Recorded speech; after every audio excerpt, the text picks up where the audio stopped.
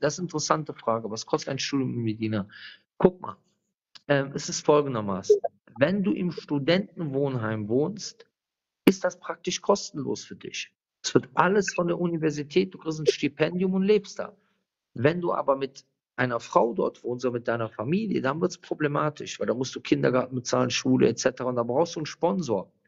Wäre zum Beispiel gut, wenn man die Moschee, normalerweise müsste jede Moschee einen Studenten versorgen, damit er zurückkommt und den Islam äh, verbreitet.